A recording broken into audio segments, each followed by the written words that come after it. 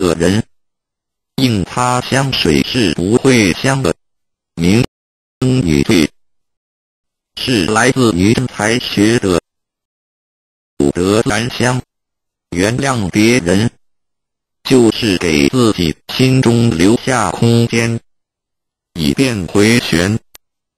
三十四点时间总会过去的，让时间流走你的烦恼啊。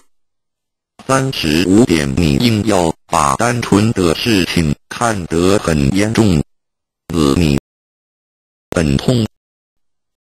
三十六，扭曲别人善意的人，